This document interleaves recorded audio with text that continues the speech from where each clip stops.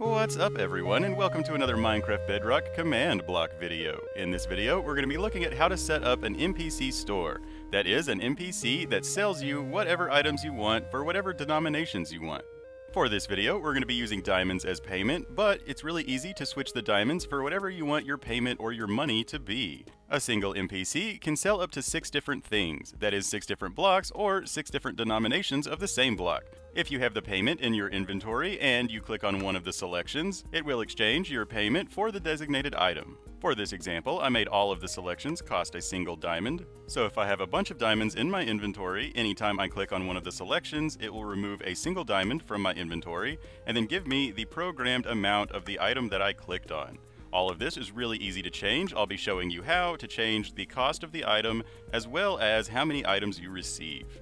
So basically the way this works is that each selection has three command blocks. But before we jump into what exactly these command blocks do, I would like to say that I recommend placing the command blocks directly underneath your NPC. The reason for this is that the command blocks are going to use the target at P, which selects the closest player. And so since we're targeting the closest player, we want the player to be as close to the command blocks as possible. But now let's jump into how to build this and how exactly it works. First off, we need to summon us an NPC to sell us things. We do this by typing in slash summon NPC. So slash summon space NPC. This will summon an NPC directly under where you're at. And so now, if we're in creative mode and we press interact on the NPC, it will bring up this box that allows us to change all of the NPC settings. We can name the NPC whatever we want to, we can edit the dialogue right here, and I recommend writing your prices in this text box right here because you won't have very much room to write stuff in the selection boxes. So just as an example, we're going to write stone 64 for one diamond. Now of course you can change your pricing or your quantities or any of that stuff. But next up, you can change the appearance of your NPC in this selection right here. These don't make any sort of difference, it's just cosmetic. But then if we click on Advanced Settings, we can click Add Command. And this is where you can add commands to your NPC. But before we do that, we need to figure out exactly where our command blocks are going to be. If you don't know how to get a command block, you have to type in the slash give at self command block command. So slash give at s command underscore block. This will give you a command block.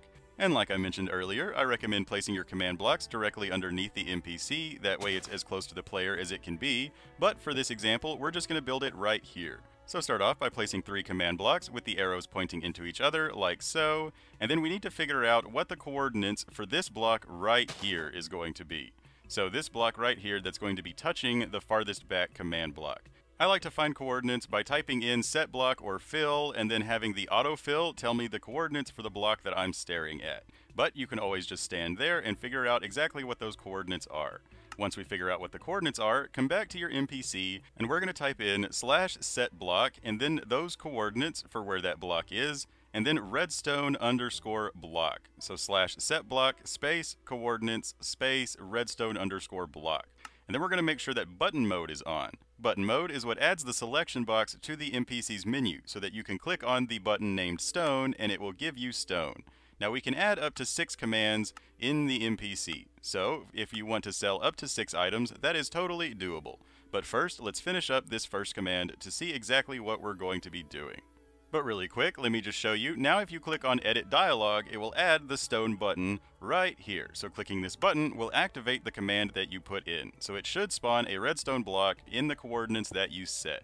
Summoning that redstone block is actually what activates these command blocks. In the very first command block that the redstone block is going to be touching, it needs to be set to impulse unconditional needs redstone, and we're going to type in the command slash set block those same coordinates for where that redstone block is being summoned, but we're going to type in air this time.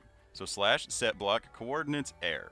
So essentially what this is going to be doing is placing the redstone block and then immediately deleting it.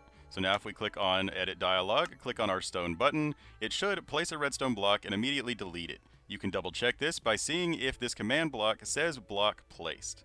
And now moving on to our last two command blocks. The one in the middle is going to be a chain command block set to unconditional always active. So chain unconditional always active, and we're going to type in the command slash clear at p And then whatever item you want to use as payment, in this case, we're going to type in diamond with a zero after it. The zero is the block state, basically. So basically diamond or emerald or anything like that is going to have a zero right after it. And then the number after zero is the quantity of your price. So one will remove one diamond, two will cost two diamonds, three will cost three diamonds, etc, etc. And now our last command block is also going to be a chain command block, but this one needs to be set to conditional. That's very important. It needs to be set to conditional. What conditional means is that the previous command block needs to have activated for it to activate. So chain conditional always active, and we're going to type in slash give at p, and then whatever item we want to give the player. So in this case, we're going to do stone 64. The 64 can be 128 for two stacks, or basically any number up to 30 stacks. And so because this last one is set to conditional, if the second one fails, meaning that if the player does not have the diamonds in their inventory, it will fail to remove them. And so if it fails, it will not give the player the item that you programmed. But if the player does have the correct payment in their inventory, then the slash clear command will succeed on removing it, thus triggering the conditional command block to slash give the player whatever item you told it to give them. So basically what is happening is the NPC summons a redstone block, which activates the command blocks. The first command block deletes that redstone block so that you can activate it over and over. The second command block then tries to remove the payment from the player's inventory, and if it succeeds, then the third command block gives the player the items. And so now, to add multiple selections to your NPC, simply copy this process next to where you just built the other command blocks. So place three command blocks, figure out the coordinates for where the redstone block needs to be, then go back to your NPC, and then type in in the second command section, slash set block, those coordinates, redstone block. So since an NPC can have up to six commands, we can have up to six different items being sold. Or we can just do different denominations, or whatever you would like to do. But remember to turn on button mode and name the button something unique so that you know what each button will do. And so now, since we added a second button, if we go to Edit Dialog, the second button will pop up. So make sure that it summons the redstone block in the correct place, and then re-enter the commands. So this first one is simply going to delete that redstone block, needs to be impulse unconditional, needs redstone, with the command slash set block coordinates air. So this will turn that redstone block back into air, essentially deleting it. And then our second one in the middle is going to be chain, unconditional, always active, and then we're going to type in the, the payment one, so slash clear at player, and then the payment. So diamond or emerald, and then zero as the block state for that item, and then the quantity that you want the price to be. So in this case, we're going to do two on this one, just to show that it will remove two diamonds instead of one. And then our final command block is going to be chain, conditional, always active, with the slash give at p, whatever item you want to give the player in exchange for the payment. And again, to reiterate, you can do this up to six times, so you can have six sets of three command blocks, giving the player different stuff in exchange for the same payment or different payments, all totally up to you. So this can be really helpful for adventure worlds or even just for survival worlds, for stuff that, you know, players don't really like to farm to sell to other players, especially things like blocks. You know, maybe you want to sell players blocks in exchange for their diamonds so they can build crazy stuff without anyone actually having to go collect all of those blocks. You know, either way, it's totally up to you. Really quick before we end this video though, you don't even actually need the NPC. You can do this a slightly different way by deleting these two impulse command blocks and deleting your NPC, and then switching what used to be your middle command block, the slash clear one, into impulse needs redstone, and then simply attach a button to this command block, to where the button will send a redstone signal to this newly impulsed command block. So as an example, we're going to place buttons on these solid blocks right here, and so you can place signs above these buttons that tell the player what the button is trying to sell them. So now if the player has the payment in their inventory, it will work just the same. It will try to remove the payment, and then if it succeeds, it will give the player the item. So you can bypass the NPC entirely and just have the buttons being what sells you the stuff. Now, of course, if you don't have the payment in your inventory, then it won't activate the command block, and so it won't activate the give command.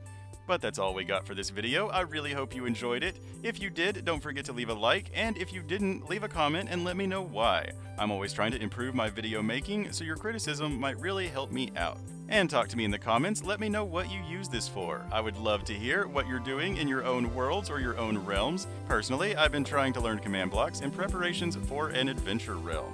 That is, a survival realm that has adventure aspects such as dungeons, quests, and games using command blocks, or really anything else that we can think of to improve the player's experience. Like this right here is a battleship game that I've been working on. Just like the regular battleship, you place your boats anywhere you want to, represented by those dirt blocks that I placed, and then when you place buttons, it will either hit or miss. If you get a miss, nothing happens, but if you get a hit, it will turn the block red and then delete part of the boat that you hit. I'm really excited to add sound effects and automated turn sequences and all that other good stuff. But since we're out of time, until next time, I've been your host, OmLedu, hopefully teaching you a command block trick or two. And reminding you, as always, don't forget to have fun. Bye bye.